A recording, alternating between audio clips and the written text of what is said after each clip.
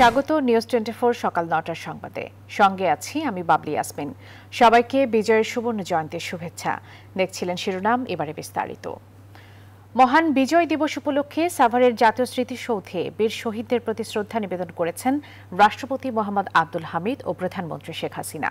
বৃহস্পতিবার ভোর সাড়ে ছটায় প্রথমে রাষ্ট্রপতি আব্দুল হামিদ এবং এরপর প্রধানমন্ত্রী শেখ হাসিনা স্মৃতিসৌধের বেদিতে পুষ্পস্তবক অর্পণ করেন। তাদের পর শ্রদ্ধা জানান জাতীয় সংসদের স্পিকার ড শিরিন শারমিন চৌধুরী ও প্রধান বিচারপতি। এরপর শহীদ বেদি উন্মুক্ত করে দেয়া হয় সর্বস্তরের মানুষের জন্য।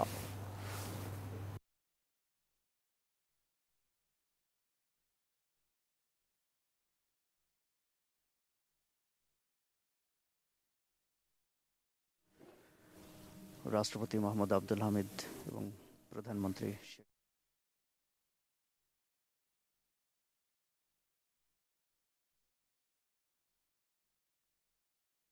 প্রধানমন্ত্রী রাষ্ট্রপতি শ্রদ্ধা নিবেদন শেষে জাতীয় স্মৃতিসৌধের শহীদ বেদি উন্মুক্ত করা হয়েছে সর্বস্তরের মানুষের জন্য। শ্রদ্ধা নিবেদন পর্ব এখনও চলছে। সরাসরি যুক্ত হচ্ছেন আমাদের সঙ্গে সহকর্মী আরিফিন শাকিল ও রিশাদ হাসান।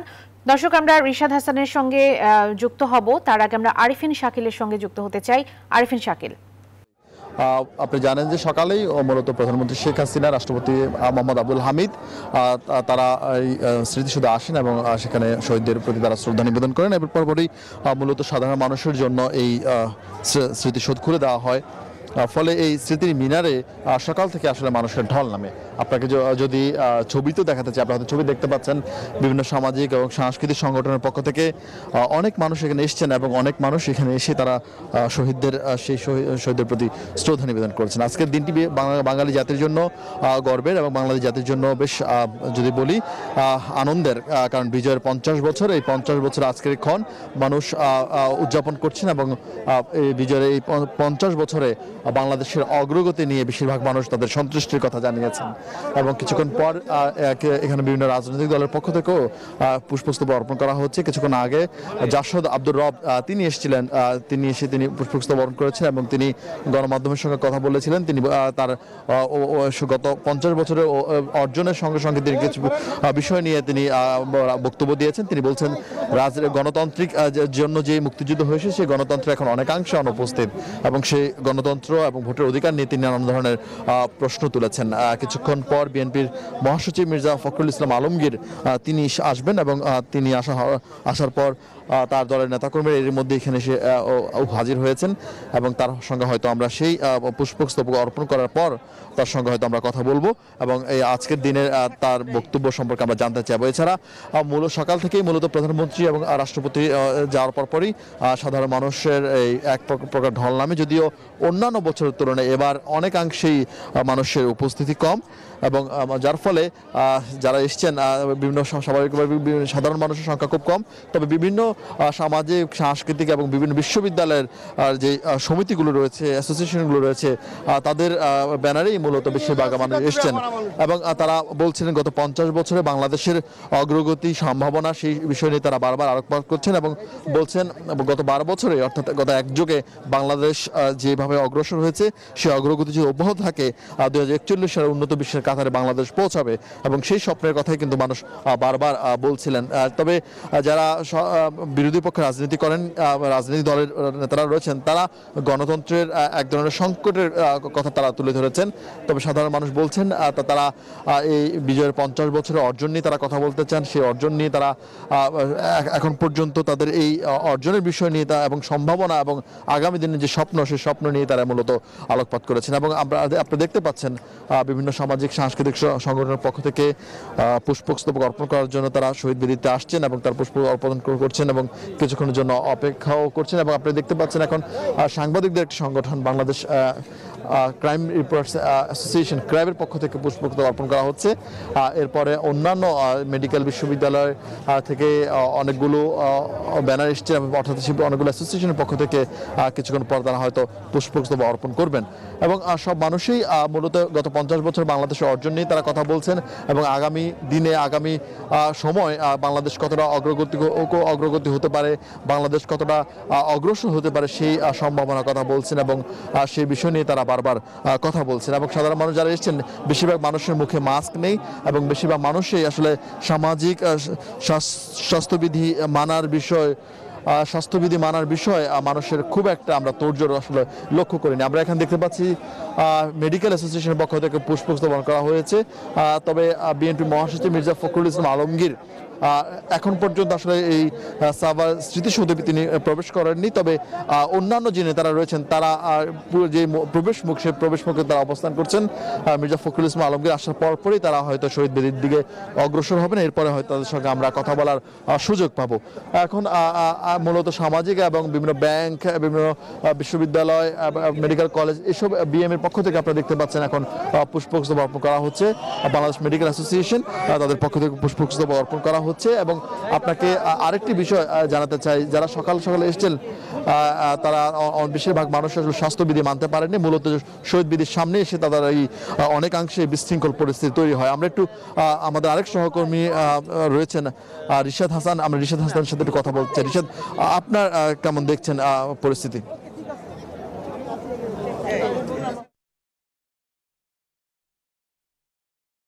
ধন্যবাদ আরিফিন শাকিল আপনাকেও বিজয়ের সুবর্ণ জয়ন্তীর শুভেচ্ছা এবং আপনি ঠিক যেমনটি বলছিলেন যে আসলে দলে দলে মানুষ এখানে আসছেন এবং ফুল দিয়ে শ্রদ্ধা নিবেদন করছেন এবং আজকে একটি আনন্দের দিন, বাংলাদেশের বিজয়ের দিন।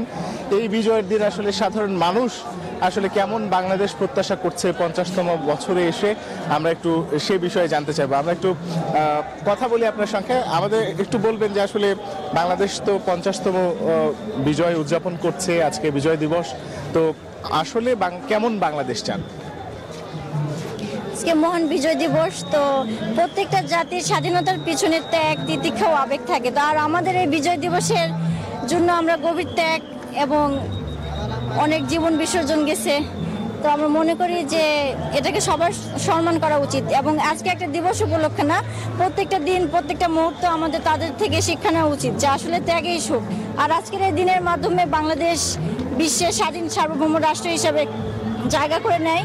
আর আসলে শহীদদের প্রতি গভীর শ্রদ্ধা এবং ভালোবাসা সবসময় অসংখ্য ধন্যবাদ। আমরা একটু দেখ- দেখতে পাচ্ছি যে অনেকে অনেকভাবে, অনেক ঢঙে কিন্তু সেজে এসেছেন। আমি একটু আপনাকে আপনার সঙ্গে কথা বলতে চাই। আজকে আসলে কেমন বাংলাদেশ প্রত্যাশা করেন? খুব ভালো লাগতেছে। কেমন বাংলাদেশ প্রত্যাশা করছেন? ভালো।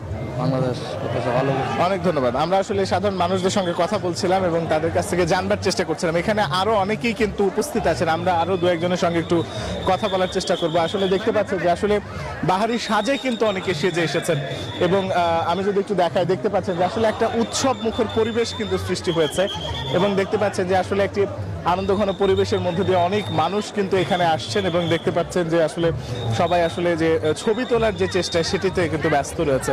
আমরা তাদের সঙ্গে একটু কথা বলব। এবং আমি যদি একটু আপনাদেরকে বলি যে আসলে এই দীর্ঘ সময় যে পথ পরিক্রমা, সেই পথ পরিক্রমায় যে আসলে মানুষের যে বহুল কষ্টার্জিত বিজয়, সেই বিজয়, একটু কথা বলি আপনাদের সঙ্গে। একটু বলবেন যে আসলে আজকের এই দিনে আসলে কেমন বাংলাদেশ প্রত্যাশা করছেন? আজকের এই দিনে আমরা যেই পর্যন্ত এসেছি, অনেক দূরে গিয়েছি, সামনে আরও উজ্জ্বল ভবিষ্যৎ কামনা করছি বাংলাদেশের। বাংলাদেশ আরও এগিয়ে যাবে, ডিজিটাল বাংলাদেশ আরও আরও ইমপ্রুভ হবে এই কামনা করে। আজকের দিনে আমরাও শপথ করতে চাই যে আগামীতে এই প্রজন্ম নতুন করে নতুন চিন্তা ভাবনায় আরও এগিয়ে যাবে। আমি একটু আপনার সঙ্গে কথা বলতে চাই, যে আমার, আপনার প্রত্যাশা কি? এক একজনের এক এক ধরনের প্রত্যাশা, আপনার প্রত্যাশা কি? বাংলাদেশ কেমন হবে? বাংলাদেশ আমার মতে দেখা গেছে যতটুকু আমরা প্রত্যাশা করেছি, তার চেয়ে আরও দ্বিগুণ পরিমাণে প্রত্যাশা করব যেন এর থেকেও যেন ভালো কিছু অর্জন করতে পারি। তবে আজ আমি গর্বিত যে আজকে আমি এত সুন্দর একটা দিন দেখতে পেরেছি। মানে কি বলব, বলার মতো কিছু নাই। ধন্যবাদ। অনেক ধন্যবাদ। আসলে আসলে দেখতে পাচ্ছেন যে আসলে মানুষের মধ্যে যে উৎসাহ, উদ্দীপনা একটু আপনার কাছে জানতে চাই যে আসলে এক একজনের তো এক এক প্রত্যাশা থাকে। আপনি আসলে কেমন বাংলাদেশ প্রত্যাশা? আমি প্রত্যাশা করি আরও উন্নত হোক। আমাদের জন্য আরও সুযোগ সুবিধা হোক। আমরা যেন আরও উপরে উঠতে পারি। এটা আমি প্রথমবার আসছি এখানে তাও কলেজ থেকে। আমার খুব ভালো লাগছে। আমরা যেন আরও যেতে পারি এরকম সুযোগ দেওয়ার জন্য। আমি একটু বলব অসংখ্য ধন্যবাদ। আমরা কথা বলছিলাম সাধারণ মানুষের সঙ্গে এবং তারা কিন্তু আসলে বলছিলেন যে আসলে কেমন বাংলাদেশ তারা প্রত্যাশা করছেন সেই বিষয়ে তারা কথা বলছিলেন এবং আসলে একটা উৎসব মুখর পরিবেশ নিঃসন্দেহে সৃষ্টি হয়েছে। সকল বর্ণ, ধর্ম, গোত্র নির্বিশেষে সকলে এখানে এসেছেন এবং এই বিজয়ের যে মহেন্দ্রক্ষণ বা পঞ্চাশতম বছর বা সুবর্ণ জয়ন্তী বাংলাদেশ উদযাপন করতে যাচ্ছে বা করছে এই মুহূর্তে, তা সকলের সঙ্গে ভাগাভাগি করে নিতে। এই ছিল আমার কাছে এখান থেকে সর্বশেষ। ফিরে যাচ্ছে বাবলি আপনার কাছে স্টুডিওতে। ধন্যবাদ আপনাকে। সহকর্মী আরিফিন শাকিল এবং রিশাদ হাসান যুক্ত ছিলেন সাভার জাতীয় স্মৃতিসৌধ থেকে। বিজয়ের সুবর্ণ জয়ন্তীতে ধানমন্ডিতে বঙ্গবন্ধুর প্রতিকৃতিতে শ্রদ্ধা জানাচ্ছেন সর্বস্তরের মানুষ। বিস্তারিত জানাতে যুক্ত হচ্ছেন সহকর্মী তৌফিক মুন্না। মুন্না কি বলছেন? শ্রদ্ধা জানাতে আসা মানুষ।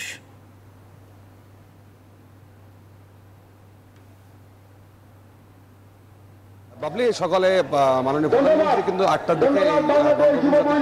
দিকে কিন্তু আপনার শ্রদ্ধা নিবেদনের পরে কিন্তু আসলে সাধারণ মানুষের খুলে দেওয়া হয় এবং এই মুহূর্তে সকল পেশার মানুষ কিন্তু এখানে ফুল দিয়ে আসছেন। তবে আমরা এখানে একটা বিষয় বলতে চাই যে সকাল থেকে কিন্তু যারা ফুল দিয়েছেন নিবেদন আমরা এখানে কোনো শৃঙ্খলা কিন্তু দেখিনি। বিজয়ের পঞ্চাশ বছরে এসে বিভিন্ন সহযোগী সংগঠনের কোনো শৃঙ্খলা আমরা কিন্তু এখনও দেখিনি। এবং শ্রদ্ধা নিবেদনের সময় শৃঙ্খলার বিন্দু মাত্র লেশ মাত্র সে তাদের ছিল না। এবং এখানে কিন্তু সকাল থেকেই প্রধানমন্ত্রী শ্রদ্ধা নিবেদনের পর থেকে কিন্তু আসলে সবার জন্য উন্মুক্ত করে দেওয়া হয়েছে এবং বিভিন্ন প্রতিষ্ঠান সামাজিক সংগঠন সবাই কিন্তু এখানে শ্রদ্ধা নিবেদন করছেন এবং আপনি জানেন যে আজকে কিন্তু আহ, আরও অনেকগুলো কর্মসূচি রয়েছে বিজয় দিবস এবং মুজিব বর্ষকে সামনে রেখে এবং সেই প্রেক্ষিতে হয়তো বা এখানে দশটা এগারোটা পর্যন্ত কিন্তু এখানে আসলে মানুষজন শ্রদ্ধা নিবেদন করবেন। তারপরে কিন্তু আপনার জাতীয় প্যারেড স্কোয়ারে কিন্তু আপনার কর্মসূচি রয়েছে এবং বিকালে কিন্তু আজকে সেই সারা বাংলাদেশ কিন্তু এক জায়গায় কিন্তু আজকে শপথ পাঠ করবেন।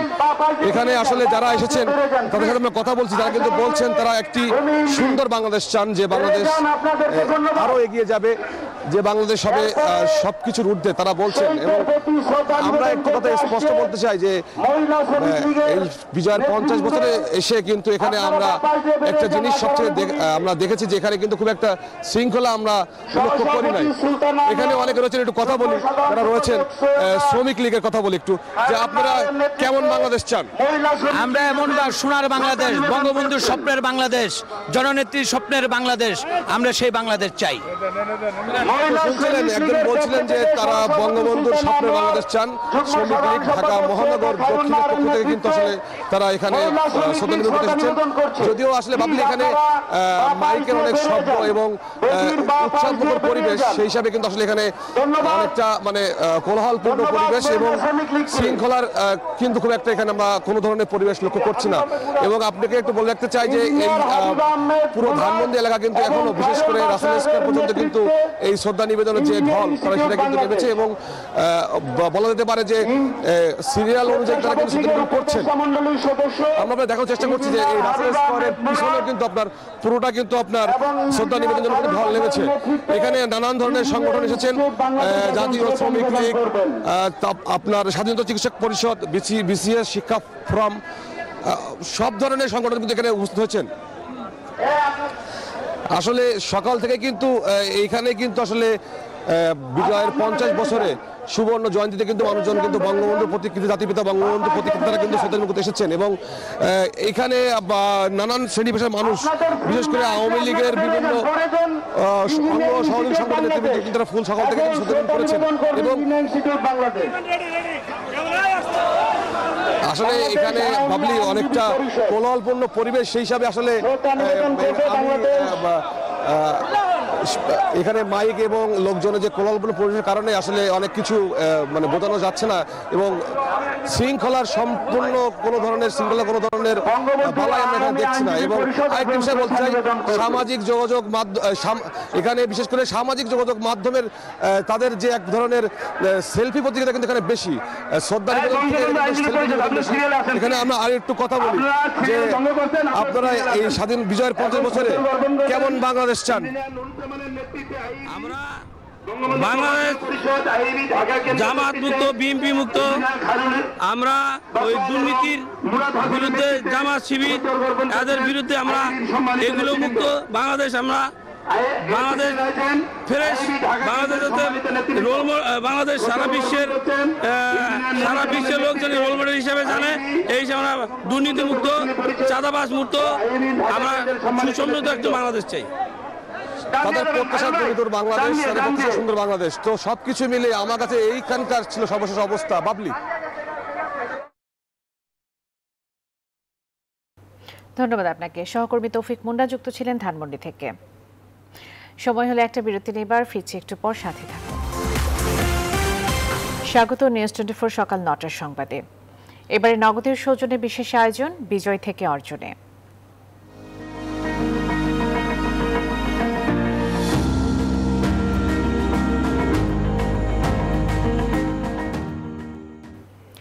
স্বাধীনতার পঞ্চাশ বছরে বিশ্বের বুকে নিজের শক্ত অবস্থান জানান দিয়েছে বাংলাদেশ।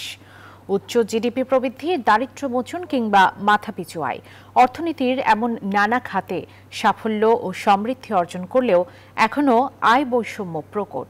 তাই বিশ্লেষকরা মনে করেন, বৈষম্যহীন বাংলাদেশ গড়াই আগামীর বড় চ্যালেঞ্জ। বিজয় দিবসে বাংলাদেশের অর্থনীতির অগ্রযাত্রা ও চ্যালেঞ্জের বিস্তারিত জানাচ্ছেন বাবু কামরুজ্জামান। অঘ্রাণীর নরম রোদের আলো যখন শিমের ডগা ছুঁয়ে যায়, তখন প্রাণ খুঁজে পায় নির্মল এই প্রকৃতি আড়মোড়া ভেঙে সোনালী ফসলের মাঠে ব্যস্ততা বাড়ে কৃষক ও কৃষানের যেখানে নতুন একটি সকাল হাতছানি দেয় নতুন স্বপ্ন নিয়ে। যে স্বপ্নের বীজ রোপিত হয়েছিল পাঁচ দশক আগে লক্ষ প্রাণের বিনিময়ে। নির্মল প্রকৃতি জুড়ে সূর্যের নরম রোদ গায়ে এসে লাগলেও ঢাকার অদূরের কৃষক দম্পতি আতাউল ও সাজেদা বেগমের মনের কোণে তখনও মেঘ জমে থাকে। বিজয়ের পঞ্চাশ বছরে নিজের বয়স পঞ্চাশ হলেও এক টুকরো নিজস্ব জমির মালিক হতে পারেনি এই দম্পতি। কোনো জিনিস ওই সময় যে আমরা পয়সা পাই না বিক্রি হয় একেবারে অমূল্য। আমি আজীবন কিছু কাজ করেছি এখন তো এরকমই। গরিব মানুষ গরিবই থাকতাছি। এরপরে যারা ধনী মানুষ আর ধনী হইতাছে। মানুষের জমিন আমরা টাকা লইয়া পাঁচ, সাড়ে পাঁচ হাজার টাকা দিয়ে জমিন লইয়া কইরা খাইতেছি। তবে গেল এক দশকে গ্রামীণ অর্থনীতিতে যে গতি সঞ্চার হয়েছে, তাতে কৃষির অবদান অনন্য। মহামারী করোনাকালেও টিকে থাকার বড় নির্ভরতা ছিল এই খাত। সময়ের সাথে কৃষিতে বাড়ছে মূল্য সংযোজন। তাই তো সবজি, ফল কিংবা মাছ উৎপাদনে নিয়মিত রেকর্ড গড়ছে বাংলাদেশ।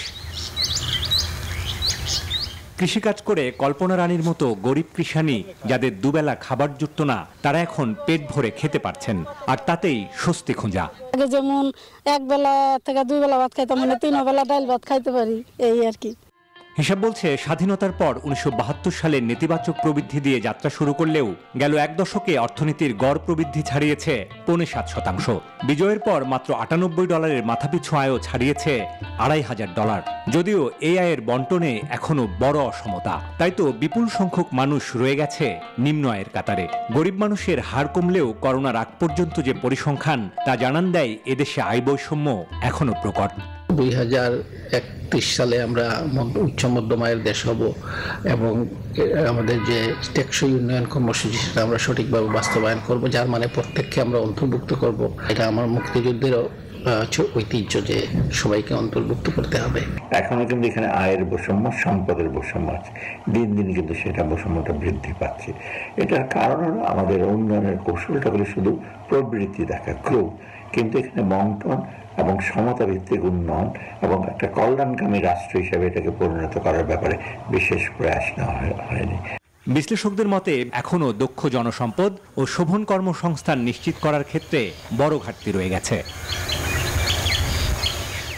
বিজয়ের পাঁচ দশকে বাংলাদেশ বিশ্বময় এক শক্ত অর্থনৈতিক ভিত তৈরি করেছে।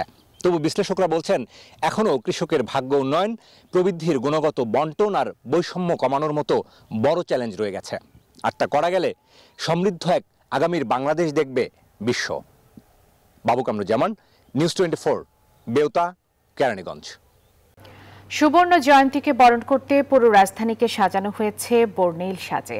সরকারি, বেসরকারি প্রতিষ্ঠানগুলোকে সাজানো হয়েছে লাল সবুজ রঙের আলোকে। বিভিন্ন অনুষ্ঠানের মধ্য দিয়ে ঢাকা বিশ্ববিদ্যালয়ের শিক্ষার্থীরা রাজু ভাস্কর্যের সামনে বিজয়ের আনন্দ উদযাপন করছে। আলী তালুকদারের প্রতিবেদনে বিস্তারিত। উনিশশো একাত্তর সালের ষোলো ডিসেম্বর, আজকের এই দিনটিকে অর্জনের পেছনে ছিল এক সাগর পরিমাণ রক্তের বিনিময়। স্বাধীনতা লাভ করা বাংলাদেশ পদার্পণ করল অর্ধশত বছরে। সুবর্ণ জয়ন্তীকে বরণ করতে তাই রাজধানী সেজেছে বর্ণিল সাজে।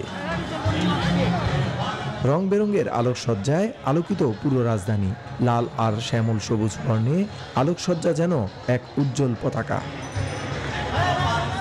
গৌরবোজ্জ্বল এই দিনটিকে বরণ করতে ভুলেনি ঢাকা বিশ্ববিদ্যালয়ের শিক্ষার্থীরা।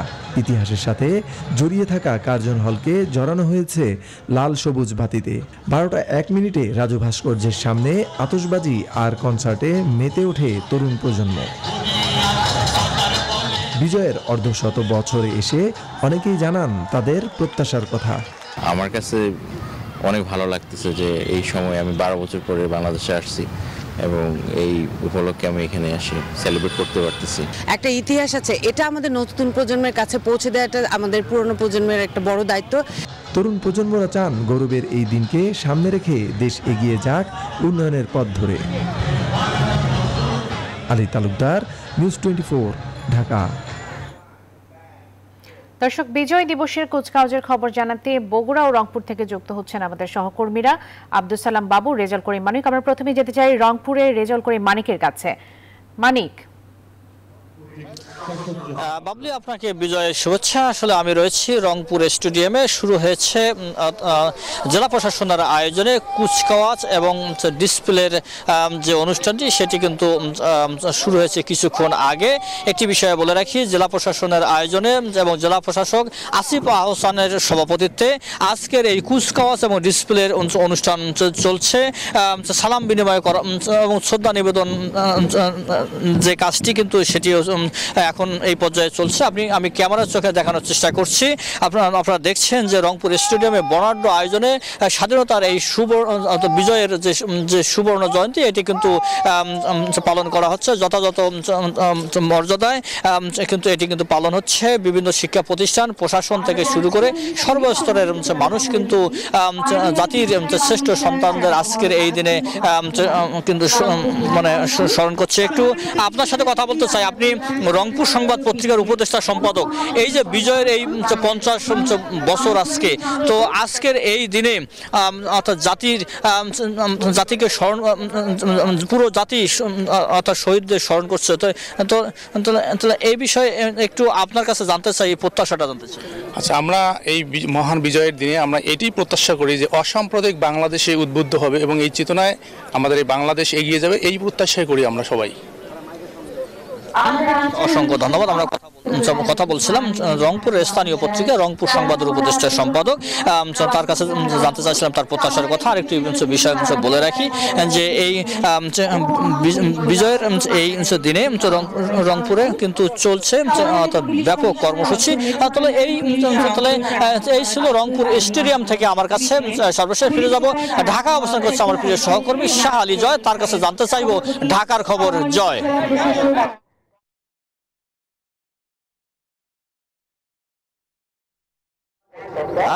মানিক আপনাকে জানিয়ে রাখতে চাই যে অল্প কিছুক্ষণের মধ্যেই, অর্থাৎ ঘড়ির কাটায় যখন ঠিক সাড়ে দশটা বাজবে, তখনই কিন্তু জাতীয় প্যারেড গ্রাউন্ডে বিজয় দিবস বিজয় দিবসের যে কুচকাওয়াজ, সেই কুচকাওয়াজ শুরু হবে।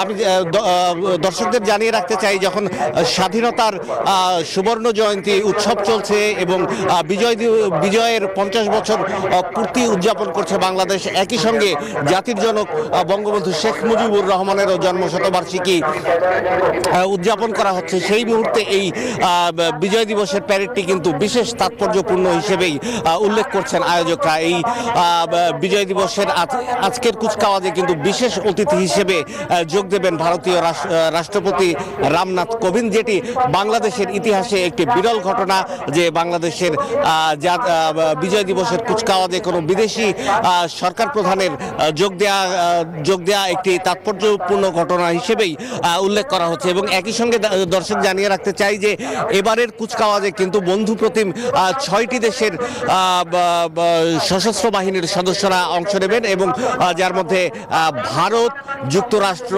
রাশিয়া, ভুটান সহ এবং মেক্সিকো সহ ছয়টি বন্ধু প্রতিম রাষ্ট্রের সশস্ত্র বাহিনীর সদস্যরা কিন্তু এই কুচকাওয়াজে অংশ নেবেন। ঠিক সাড়ে দশটায় এই কুচকাওয়াজ শুরু হবে। মহামান্য রাষ্ট্রপতি মোহাম্মদ আব্দুল হামিদ মাননীয় প্রধানমন্ত্রী শেখ হাসিনা এবং সফররত ভারতের রাষ্ট্রপতি রামনাথ কোবিন্দের আগমনের মধ্য দিয়েই কিন্তু এই কুচকাওয়াজ আনুষ্ঠানিকভাবে শুরু হবে বলে আমরা জানতে পেরেছি।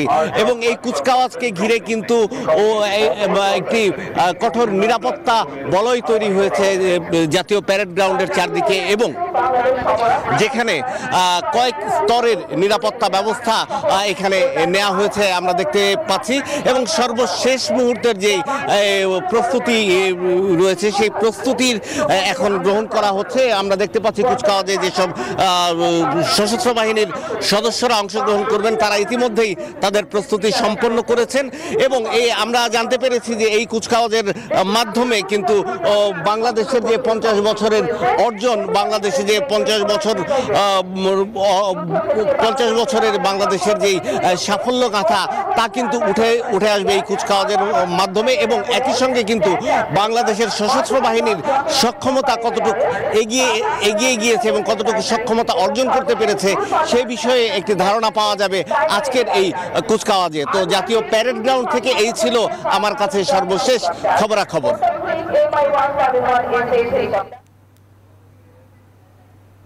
ধন্যবাদ আপনাকে। দর্শক, এই মুহূর্তে আমরা বগুড়াতে যেতে চাই। বগুড়া থেকে যুক্ত হচ্ছেন সহকর্মী আব্দুল সালাম বাবু। বাবলি, আপনাকে ধন্যবাদ। বগুড়ায় সকাল থেকেই শুরু হয়েছে শহীদদের শ্রদ্ধা নিবেদনের মধ্য দিয়েই কিন্তু বগুড়ায় কার্যক্রম শুরু করে হয়েছে বিজয়ের সুবর্ণ জয়ন্তী পালনে। সকালে মুক্তির ফুলবাড়িতে পুষ্পালম অর্পণ করেছেন জেলা প্রশাসক মোহাম্মদ জিয়াউল হক, পুলিশ সুপার সুদীপ কুমার চক্রবর্তী সহ মুক্তিযুদ্ধ সংসদ, জেলা আওয়ামী লীগ সহ বিভিন্ন সামাজিক, সাংস্কৃতিক এবং রাজনৈতিক সংগঠন। এবং আমরা এই মুহূর্তে রয়েছি বগুড়া শহরের শহীদ চান্দু স্টেডিয়ামে, যেখানে শিক্ষার্থীরা কিছুক্ষণ আগেই কুচকাওয়াজ প্রদর্শন করেছেন এবং এখন তারা মনোমুগ্ধকর ডিসপ্লে প্রদর্শনের জন্য প্রস্তুত হচ্ছেন। এবং আপনি নিশ্চয়ই ক্যামেরা চোখে দেখতে পাচ্ছেন যে শিক্ষিতারা ইতিমধ্যেই মাঠে এসেছেন এবং তারা মহান বিজয় দিবসে দেশাত্মবোধক গানের মধ্যে দিয়ে তারা শারীরিক কসরত এবং ডিসপ্লে প্রদর্শন করবেন। বগুড়া জেলার প্রায় বিরাশিটি শিক্ষা প্রতিষ্ঠান কিন্তু আজকে বগুড়া শহীদ চান্দু স্টেডিয়ামে এই কুচকাওয়াজ এবং ডিসপ্লেতে অংশগ্রহণ করছেন। জেলা প্রশাসনের আয়োজনে এই কর্মসূচি অব্যাহত রয়েছে। শহরের এই স্টেডিয়ামে কিন্তু হাজারো মানুষের ভিড় নেমেছে আজকে এই স্বাধীন মহান মুক্তিযুদ্ধের বীর শহীদদের শ্রদ্ধা জানানোর জন্য যে অনুষ্ঠান স্বাধীনতার সুবর্ণ জয়ন্তীতে বগুড়ার মানুষ বিজয় উল্লাসে মেতে উঠেছে। জাতির জনক বঙ্গবন্ধু শেখ মুজিবুর রহমানের নেতৃত্বে অর্জিত যে বাংলাদেশ, বঙ্গবন্ধু কন্যা শেখ হাসিনার হাত ধরে যে বাংলাদেশের এগিয়ে চলা, সেই সমৃদ্ধির পথে বাংলাদেশ এগিয়ে যাবে, এই দীপ্ত অঙ্গীকার নিয়ে কিন্তু বগুড়ার মানুষ আজকে সকালে শহীদদের প্রতি শ্রদ্ধা জানিয়েছেন। আপনাকে জানিয়েছি মুক্তির ফুলবাড়িতে জেলা প্রশাসন, পুলিশ প্রশাসন সহ বিভিন্ন সংগঠন শ্রদ্ধা নিবেদন করেছে এবং বগুড়া কেন্দ্রীয় শহীদ মিনারে জেলা আওয়ামী লীগ, বগুড়া প্রেস ক্লাব সহ বিভিন্ন সংগঠন শ্রদ্ধা জানানোর পরেই সকাল আটটায় বগুড়া এই শহীদ চান্দু স্টেডিয়ামে সালাম গ্রহণ করেছেন জেলা প্রশাসক এবং পুলিশ সুপার। এরপরেই কিন্তু শিক্ষার্থীরা কুচকাওয়াজ প্রদর্শন করেছেন। কুচকাওয়াজের পরেই কিন্তু এখন ডিস ডিসপ্লে প্রদর্শন করবেন। শিক্ষিতারা ইতিমধ্যে তারা প্রস্তুত হচ্ছেন। আপনারা দেখতে পাচ্ছেন যে কোমলমতি শিক্ষার্থীরা তারা ডিসপ্লে প্রদর্শনের জন্য প্রস্তুত হচ্ছে। দেশাত্মবোধক গানের সুরে সুরে তারা নেচে গেয়ে বিজয় দিবসকে উদযাপন করবেন, সুবর্ণ জয়ন্তীকে উদযাপন করবেন এবং সারা দিনব্যাপী কিন্তু কর্মসূচি রয়েছে বগুড়ায় আজকে। স্বাধীনতা সুবর্ণ জয়ন্তী উৎসবকে কেন্দ্র করে। এই এই বগুড়ার বিভিন্ন শিক্ষা প্রতিষ্ঠান আজকে এসেছে। এই শহীদ চান্দু স্টেডিয়ামে হাজারো মানুষের ঢল নেমেছে বিজয়ের সুবর্ণ জয়ন্তী উদযাপনের লক্ষ্যে। এই ছিল বগুড়া থেকে সর্বশেষ। আমরা ফিরে যাব চট্টগ্রামে আমাদের সহকর্মীর কাছে।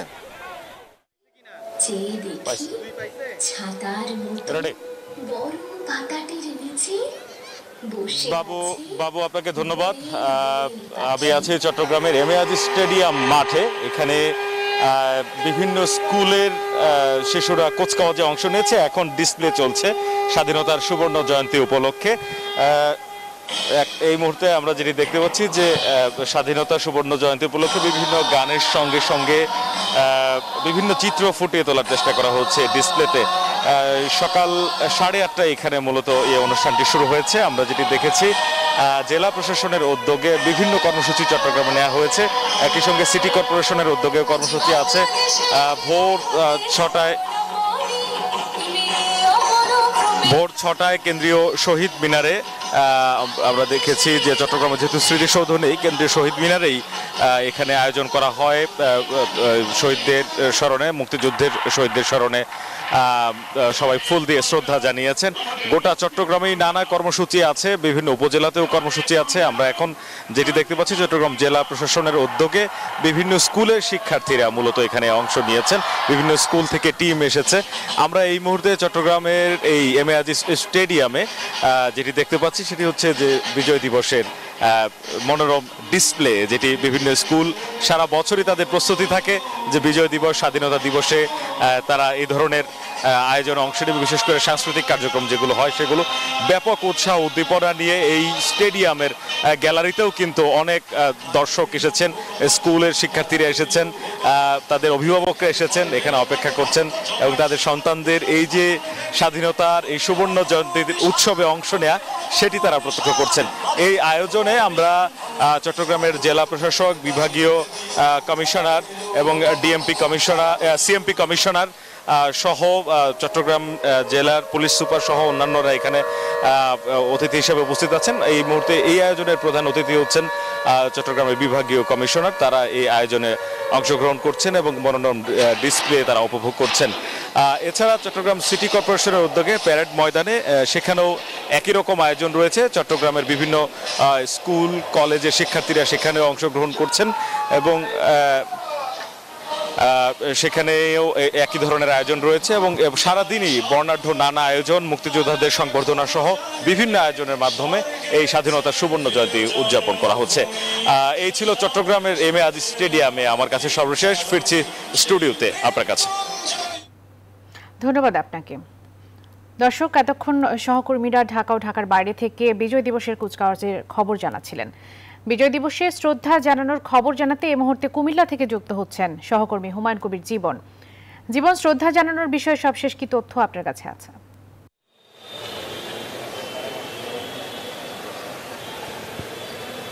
জি, বাবলি, আপনাকে বিজয় দিবসের শুভেচ্ছা জানাচ্ছি। কুমিল্লায় আমরা দেখেছি যে সকাল থেকে কিন্তু আসলে কুমিল্লায় মহান বিজয় দিবস উপলক্ষে কিন্তু সরকারি বেসরকারি বিভিন্ন সামাজিক সংগঠন তারা কিন্তু আসলে এই কেন্দ্রীয় শহীদ মিনারে আহ, শহীদদের প্রতি শ্রদ্ধা জানানোর জন্য আসছেন এবং আমরা দেখেছি আসলে এখানে কিন্তু আসলে অসংখ্য মানুষ এসেছেন যারা এই স্বাধীনতার পঞ্চাশ বছর পূর্তিকে স্মরণীয় করে রাখার জন্য তারা এই শহীদ মিনারে এসে শহীদদের প্রতি শ্রদ্ধা জানিয়েছেন এবং আজকে কিন্তু একটি ইতিহাসের অন্যতম দিন স্বাধীনতার পঞ্চাশ বছর পূর্তি উপলক্ষে কিন্তু মাথা উঁচু করে দাঁড়িয়েছে বাংলাদেশ। এবং আমরা দেখেছি এখানে মুক্তিযোদ্ধা এবং বিভিন্ন সামাজিক সংগঠনের নেতৃবৃন্দরা উপস্থিত আছেন। আমরা একটু কথা বলতে চাচ্ছি, আজকের এই আনন্দের দিনে, বিজয়ের দিনে আপনার স্বাধীনতার পঞ্চাশ বছর পূরণ হলো। আপনার কি প্রত্যাশা? ধন্যবাদ। আজ ষোলোই ডিসেম্বর, মহান বিজয় দিবস। উনিশশো একাত্তর সালের এই দিনে পৃথিবীর বুকে বাংলাদেশ নামের একটি স্বাধীন রাষ্ট্র ভূমিষ্ঠ হয়। আমরা এই পঞ্চাশ বছর এই স্বাধীনতার পঞ্চাশ বছর উদযাপন এবং স্মৃতি ধরে রাখার জন্য পোয়ালি ব্যাংক কর্মচারী সংঘের পক্ষ থেকে আমরা এসেছি যাতে আমরা এই ডে আমাদের ভিতরে লালন পালন করে ভবিষ্যতের প্রজন্মকে সামনের দিকে আপনাকে। আমরা একজন মুক্তিযোদ্ধাকে দেখছি একটু কথা বলতে চাচ্ছি। আজকে তো স্বাধীনতার পঞ্চাশ বছর পূর্তি হলো। আপনার কি প্রত্যাশা? আমরা অনেক কিছু পেয়েছি এই স্বাধীনতা। আমরা কোনো দিন আমরা বলতে পারব না। বঙ্গবন্ধুর এই দেশ সোনার বাংলা আমরা যতদিন বেঁচে থাকি ধন্যবাদ আপনাকে। আপনি শুনছিলেন যে আসলে এখানে বিভিন্ন সামাজিক সংগঠন সরকারি বেসরকারি প্রতিষ্ঠানের নেতৃবৃন্দরা আছেন এবং তারা কিন্তু আসলে কেন্দ্রীয় শহীদ মিনারে আসছেন এবং এই আনন্দ দিনকে স্মরণীয় করে রাখার জন্য তারা আসলে অনেক উৎসাহ উদ্দীপনার মধ্যে দিয়ে এই শহীদ মিনার আসছেন। এই ছিল আমার কাছে সর্বশেষ। বাবলি। ধন্যবাদ আপনাকে। কুমিল্লা থেকে যুক্ত ছিলেন সহকর্মী হুমায়ুন কবির জীবন। এই মুহূর্তে আমরা সিলেটে যেতে চাই। রাসেল আছেন সেখানে। আমাদের সাথে যুক্ত হবেন সেখানকার প্যারেড গ্রাউন্ডের খবর জানাতে।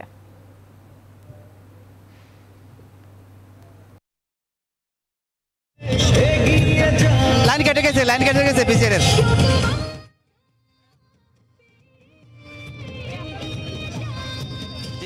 আপনি দেখতে পাচ্ছেন আসলে সিলেট আপনি দেখতে পাচ্ছেন আসলে সিলেটে বেশ কিছু প্রোগ্রামে, বেশ কিছু আনন্দমুখর পরিবেশের মাধ্যমে আসলে বিজয়ের পঞ্চাশতম পূর্তি উৎসব পালিত হচ্ছে। আমি এখন দাঁড়িয়ে আছি আসলে সিলেট জেলা স্টেডিয়ামে। আপনারা দেখতে পাচ্ছেন এখানে একটু আগেই স্বাধীনতা, এই মুক্তিযুদ্ধে বিজয়ের পঞ্চাশতম বর্ষপূর্তি উপলক্ষে আসলে একটু আগে জেলা প্রশাসনের উদ্যোগে কুচকাওয়াজ অনুষ্ঠিত হয়। এই কুচকাওয়াজ শেষ করেই শেষ করে এখন এখানে ডিসপ্লে অনুষ্ঠিত হচ্ছে। অর্থাৎ সিলেট প্রশাসনের উদ্যোগে নানা কর্মসূচির মাধ্যমে আসলে দিনটি উদযাপিত হচ্ছে। আর আরেকটা জিনিস জানিয়ে রাখি সকালে আসলে এই সিলেট জেলা প্রশাসন প্রাঙ্গণে এই পঞ্চাশ বার তুপধ্বনির মাধ্যমে আজকে দিনের কর্মসূচি শুরু- করে সিলেটের জেলা প্রশাসন। এরপরে প্রশাসনের পক্ষ থেকে এই বঙ্গ- এই বঙ্গবন্ধুর প্রতিকৃতিতে শ্রদ্ধা নিবেদন করা হয় এবং এই সিলেট কেন্দ্রীয় শহীদ মিনারে তারা এসে আসলে শ্রদ্ধা নিবেদন করেন। এই- জাতির শ্রেষ্ঠ সন্তানের প্রতি আসলে তারা শ্রদ্ধা নিবেদন শ্রদ্ধা নিবেদন করেন। সব মিলিয়ে আসলে নানা কর্মসূচির মাধ্যমে আসলে সিলেটে বিজয়ের পঞ্চাশতম বর্ষপূর্তি পঞ্চাশতম বর্ষপূর্তি উদযাপিত হচ্ছে। এছাড়া এছাড়া এই সিলেট কেন্দ্রীয় শহীদ মিনারে আসলে সকালের এই প্রশাসনের ফুল দেওয়ার পর থেকে আসলে বিভিন্ন কর্মসূচি পালিত হচ্ছে। সাধারণ মানুষের লোকের, সাধারণ মানুষের পদচারণা মুখরিত হয়েছে আসলে জেলা পরিষদ প্রাঙ্গণ। জেলা পরিষদ প্রাঙ্গণের সিলেট কেন্দ্রীয় শহীদ মিনার প্রাঙ্গণে এরপর থেকে আসলে সকাল সাড়ে আটটায় এখানে কুচকাওয়াজ শুরু হয়। কুচকাওয়াজের পর থেকে আসলে সিলেটের সিলেট প্রশাসনের আসলে পঞ্চাশটি দল অর্থাৎ স্বাধীন এই বিজয়ের পঞ্চাশতম বর্ষপূর্তি উপলক্ষে এই প্রশাসনের পঞ্চাশটি দল প্রশাসন এবং এই বিভিন্ন স্কুল এবং বিভিন্ন শিক্ষা প্রতিষ্ঠানের আসলে পঞ্চাশটি দল এখানে আসলে কুচকাওয়াজে এবং ডিসপ্লেতে অংশ নেয়। সব মিলে আসলে নানা কর্মসূচিতে এই বিজয়ের পঞ্চাশতম বর্ষ বিজয়ের পঞ্চাশতম বর্ষ বিজয়- বিজয়ের পঞ্চাশতম বর্ষপূর্তি উদযাপিত হচ্ছে শুধু এখানে না আসলে এরপর থেকে আসলে সারা সারাদিনব্যাপী আসলে প্রশাসনের উদ্যোগে বিভিন্ন আলোচনা সভা রয়েছে এবং মুক্তিযুদ্ধের ভিত্তিক চলচ্চিত্র প্রদর্শনী রয়েছে এবং বিকালে আসলে আমরা জানতে পেরেছি, প্রধানমন্ত্রী যে এই জাতীয় পর্যায়ে যে শপথ নেবেন, সেই শপথে অংশগ্রহণ করবেন সিলেটের কয়েক হাজার মানুষ এবং প্রশাসনের উদ্যোগে আসলে যথাযথ পদক্ষেপ নেওয়া হয়েছে। আর আরেকটা জিনিস জানিয়ে রাখি, গতকাল থেকে আসলে সাজ সাজ রবে, রব উঠেছে আসলে সিলেট শহর জুড়ে। সিলেট শহর জুড়ে আসলে পতাকা এবং ধন্যবাদ আপনাকে। সহকর্মী রাসেল যুক্ত ছিলেন সিলেট থেকে, তিনি জানাচ্ছিলেন সেখানকার সবশেষ পরিস্থিতি। দর্শক, সময় হলো একটা বিরতি নিবার, ফিরছি একটু পর আমাদের সাথে। স্বাগত নিউজ টোয়েন্টি ফোর সকাল নটার সংবাদে। সম্প্রতি এলিট ফোর্স, র্যাব এবং প্রতিষ্ঠানটির বর্তমান ও সাবেক সাত কর্মকর্তার উপর যুক্তরাষ্ট্রের নিষেধাজ্ঞার কোনো ভিত্তি বা গুরুত্ব নেই, এমন মন্তব্য করলেন আন্তর্জাতিক সম্পর্ক বিশ্লেষকরা। তারা বলছেন, এই নিষেধাজ্ঞা ভূ রাজনৈতিক কৌশলেরই ফল। তবে দেশে কোনো বেআইনি হত্যাকাণ্ড হলে তার সুষ্ঠু বিচার ও নিষেধাজ্ঞার বিষয়ে সুষ্ঠু তদন্ত চান আইনজীবী শাহেদিন মালিক। এক্ষেত্রে বাংলাদেশের কূটনৈতিক দুর্বলতাকেও দোষলেন তারা। ফখরুল ইসলামের রিপোর্টে বিস্তারিত। গেল শুক্রবার হঠাৎ করে পুলিশের এলিট ফোর্স, র্যাব এবং প্রতিষ্ঠানটির সাবেক মহাপরিচালক ও পুলিশের আইজিপি ডক্টর বেনজির আহমেদ সহ সাবেক সাত কর্মকর্তার উপর নিষেধাজ্ঞা জারি করে যুক্তরাষ্ট্রের অর্থ ও পররাষ্ট্র দপ্তর। তাদের বিরুদ্ধে অভিযোগ তোলা হয় বিচার বহির্ভূত হত্যা ও মানবাধিকার লঙ্ঘনের। যুক্তরাষ্ট্রের এমন নিষেধাজ্ঞাকে ভূরাজনৈতিক কৌশল হিসেবে দেখছেন আন্তর্জাতিক সম্পর্ক বিশ্লেষকরা। পুলিশের সাবেক আইজিপি নিষেধাজ্ঞার কোনো ভিত্তি দেখছেন না বলেও জানান তিনি। যেই দেশে পুলিশের দ্বারা আনলফুল কিলিং তার সংখ্যা আমাদের চেয়ে বেশি। এই দেশ যখন বলে সেটা আমি মনে করি না তার বড় গ্রহণযোগ্যতা আছে। কোয়ারে বাংলাদেশ সরকার কোয়ারে সম্পৃক্ত হয়নি কোয়ারের মেম্বার হয়নি। যেখানে তাদের অর্থনৈতিক রাজনৈতিক চিন্তা বিঘ্ন ঘটে, সেখানে তারা নানান ভাবে সংশ্লিষ্ট রাষ্ট্রগুলোর উপর চাপ প্রয়োগ করে থাকে। আইনজীবী শাহাদিন মালিক বললেন দেশে বিচার বহির্ভূত হত্যাকাণ্ড হলে তা তদন্ত করে নিষেধাজ্ঞা প্রত্যাহার করতে হবে।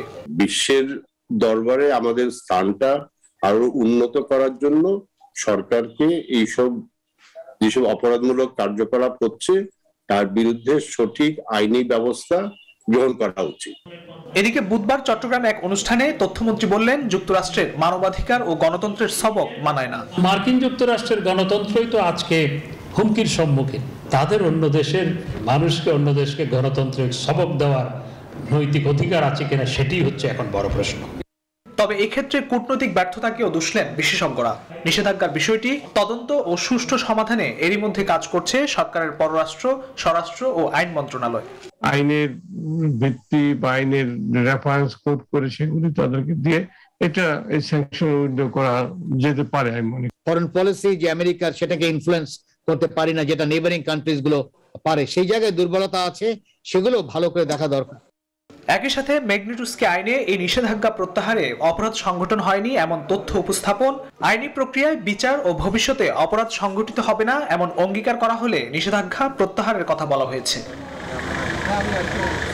Fakhrul Islam news twenty Dhaka. Bangladesh jewellers সমিতির নতুন সভাপতি হিসেবে দায়িত্ব গ্রহণ করলেন বসুন্ধরা গ্রুপের ব্যবস্থাপনা পরিচালক সায়েম সোভান আনভির। রাজধানীর একটি অভিজাত হোটেলে পুরনো কমিটি তার হাতে দায়িত্ব বুঝিয়ে দেন। এ সময় তিনি বাংলাদেশকে স্বর্ণ রপ্তানিকারক দেশ হিসেবে গড়ে তোলার প্রত্যয় ব্যক্ত করেন। অনুষ্ঠানে এপিসিসিআই সভাপতি বলেন, স্বর্ণের বিশ্ববাজার ধরতে ভারতের চেয়ে এগিয়ে যেতে হবে বাংলাদেশকে। এজন্য সরকারের নীতি সহায়তার কথা বলেন তিনি। সুলতান আহমেদ জানাচ্ছেন বিস্তারিত। গেল উনত্রিশে নভেম্বর দেশের স্বর্ণ ব্যবসায়ীদের সমিতি বাজুসের সভাপতি নির্বাচিত হন। দেশের বিশিষ্ট শিল্পপতি ও বসুন্ধরা গোল্ড রিফাইনারি লিমিটেডের ব্যবস্থাপনা পরিচালক সায়াম সুবহান আনভির। দুই সপ্তাহ পর এমন জাঁকজমকপূর্ণ অনুষ্ঠানে তার হাতে আনুষ্ঠানিক দায়িত্ব হস্তান্তর।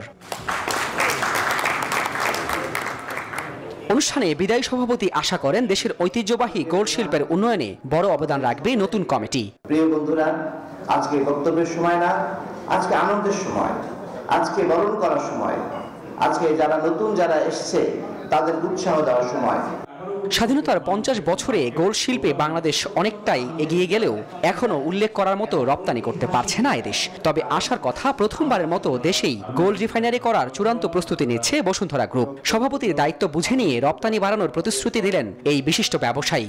আমরা এক্সপোর্টে কিন্তু কোনো বিকাশ পারিনি। আমার যে টার্গেটে থাকবে ট্যাক্স তো অবশ্যই একটা একটা ফ্যাক্টর তার সাথে আমি মনে করি এই ইন্ডাস্ট্রি জুয়েলারি ইন্ডাস্ট্রিটা প্রসার আছে প্রসারের সাথে আমরা এটা we want to export in abroad countries ABCCI সভাপতিও সাধুবাদ জানালেন এমন উদ্যোগকে।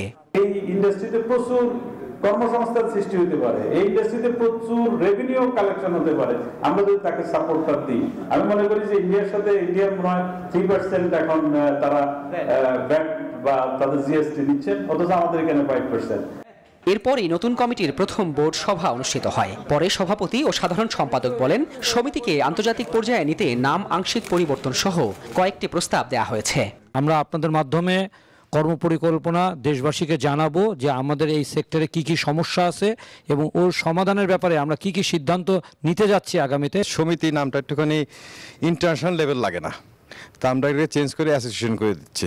বাংলাদেশ জুয়েলারি অ্যাসোসিয়েশন এদিনই স্বর্ণের দাম ভরিতে প্রায় বারোশো টাকা কমানোকে নতুন কমিটির প্রথম চমক বলেও উল্লেখ করেন Dilip Kumar Agarwal. Sultan Ahmed, news twenty Dhaka. পঞ্চাশতম বিজয় দিবস ও স্বাধীনতার সুবর্ণ জয়ন্তী উদযাপন করছে জাতি। বিজয় দিবসে চট্টগ্রামে এবছরও বায়ান্নর ভাষা আন্দোলনের শহীদদের স্মরণে নির্মিত শহীদ মিনারে ফুল দিয়ে একাত্তরের মুক্তিযুদ্ধের শহীদদের শ্রদ্ধা জানানো হচ্ছে।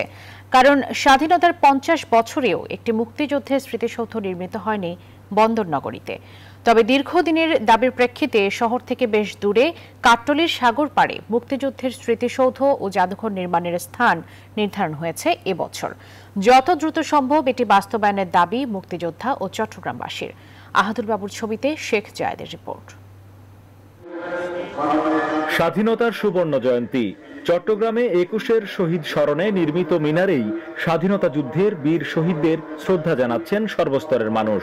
গোটা চট্টগ্রামে চিহ্নিত একশো ষোলোটি বদ্ধভূমি থাকলেও উনপঞ্চাশ বছর ধরে নির্ধারণ করা যায়নি মুক্তিযুদ্ধের শহীদদের স্মরণে একটি স্মৃতিসৌধ নির্মাণের স্থান। অথচ মুক্তিযোদ্ধা ও চট্টগ্রামের মানুষ আনুষ্ঠানিক দাবির পাশাপাশি বিভিন্নভাবেই স্মৃতিসৌধের দাবি জানিয়ে আসছিলেন। যারা নাইনটিন সেভেন্টি ওয়ানে শহীদ হয়েছে, তাদের জন্য বড় একটা স্মৃতিসৌধ করা হয় যাতে ওখানে গিয়ে সবাই সম্মান প্রদর্শন করতে পারে। আমাদের দাবি, মুক্তিযোদ্ধার দাবি, চট্টগ্রামের দাবি, এটা ঐতিহাসিক একটা স্মৃতিসৌধ হবে। এটা দেখার জন্য নন্দনীয় চট্টগ্রাম বাংলাদেশে দেখার জন্য মতন একটা নন্দনীয় স্মৃতি- হবে। সম্প্রতি শহরের বাইরে বঙ্গোপসাগরের তীরে উত্তর কাট্টলী এলাকায় স্মৃতিসৌধ ও মুক্তিযুদ্ধ জাদুঘরের স্থান নির্ধারণ করে জেলা প্রশাসন। ত্রিশ একরের এই জায়গায় বড় পরিসরে স্মৃতিসৌধ নির্মাণ করতে চায় সরকার। দু হাজার তেইশ এবং চব্বিশ সালের মধ্যেই চট্টগ্রামবাসীর জন্য আমরা একটি চমৎকার স্মৃতিসৌধ এবং শহীদ স্মৃতিসৌধ এবং একটি মুক্তিযুদ্ধ জাদুঘর আমরা উপহার দিতে পারব। মূল শহর থেকে অনেক দূরে সাগর পারে উত্তর কাট্টলিতে এই জায়গাটি নির্ধারণ করা হয়েছে মুক্তিযুদ্ধের স্মৃতিসৌধ ও জাদুঘর নির্মাণের জন্য। অনেক দূরে তাই কিছুটা আক্ষেপ আছে, তারপরও সন্তুষ্টির কথা জানিয়েছেন মুক্তিযোদ্ধা ও নগরবাসী। বলছেন, স্মৃতিসৌধ তো হচ্ছে, প্রত্যাশা যেন খুব দ্রুত এটি বাস্তবায়ন হয়। Sheikh Zayed, news twenty Chattogram. এবারে আন্তর্জাতিক প্রসঙ্গ। ওমিক্রন ভ্যারিয়েন্ট দ্রুত ছড়ানোর মধ্যেই রেকর্ড সংখ্যক করোনা রোগী শনাক্ত হয়েছে ব্রিটেনে। ধরনটিকে মারাত্মক হুমকি হিসেবে আখ্যা দিয়েছেন ব্রিটিশ স্বাস্থ্য কর্মকর্তারা। আন্তর্জাতিক ভ্রমণ গণসমাবেশ এড়িয়ে যাওয়ার পরামর্শ দিচ্ছে কানাডা। এদিকে আগামী মাসে ইউরোপে ওমিক্রন ব্যাপক দাপট চালাতে পারে বলে মন্তব্য করেছেন ইইউ প্রধান। নিবির আমিনের ডেস্ক রিপোর্ট। একদিনে করোনা সংক্রমণের নতুন রেকর্ড গড়ল যুক্তরাজ্য। চব্বিশ ঘন্টায় দেশটিতে আটাত্তর হাজার ছয়শো দশ জনের দেহে শনাক্ত হয়েছে এ ভাইরাস, যা মহামারীর শুরুর পর একদিনের সর্বোচ্চ। গেল জানুয়ারিতে একদিনে প্রায় আটষট্টি হাজারের বেশি করোনা রোগী শনাক্ত হয়েছিল দেশটিতে। বুধবার যুক্তরাজ্যের শীর্ষ স্বাস্থ্য কর্মকর্তা ক্রিস হুইটি জানান অমিক্রন সত্যিকার অর্থেই একটি মারাত্মক হুমকি। এই মুহূর্তে সত্যি একটি গুরুতর হুমকি এটি। এখনও অনেক বিষয় আছে যা আমরা জানি না। কিন্তু যতটুকু জানতে পেরেছি তার সবই খারাপ। অসাধারণ গতিতে ছড়িয়ে পড়ছে এই ভ্যারিয়েন্ট কানাডা সরকার নিজেদের বাসিন্দাদের আন্তর্জাতিক ভ্রমণ এবং গণসমাবেশ এড়িয়ে চলার আহ্বান জানিয়েছে। ফ্রান্সের নাগরিকদের ভ্যাকসিন গ্রহণ করে হাসপাতালে ভর্তি হওয়ার চাপ কমাতে অনুরোধ করছেন ফরাসি আইসিইউ কর্মীরা। তবে এই মুহূর্তেই ভ্যারিয়েন্টটির নির্দিষ্ট বুস্টার ডোজ প্রয়োজন নেই বলে মন্তব্য করেছেন মার্কিন শীর্ষ সংক্রামক রোগ বিশেষজ্ঞ অ্যান্থনি ফাউসি। এখন এ পর্যন্ত সাথে থাকার জন্য ধন্যবাদ।